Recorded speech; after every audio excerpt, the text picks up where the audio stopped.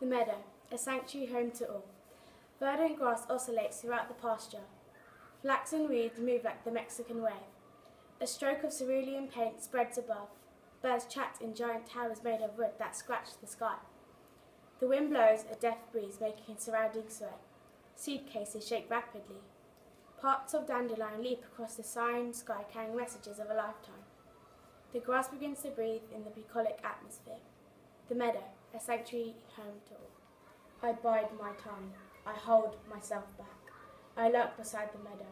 I'm the enemy of all things serene. I darken the sky to a sunless sea.